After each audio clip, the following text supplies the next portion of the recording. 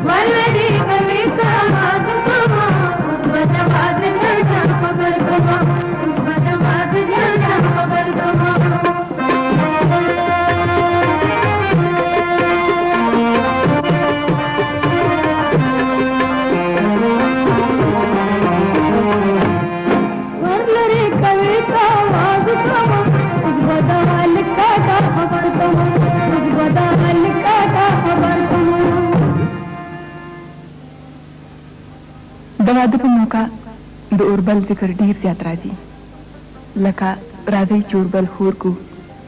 راځي چې اوربل جوړ کو د واده د شپې دا یو غټ دستور دی چې ځلمې راځي او اوربل پرې کوي او دغه وخت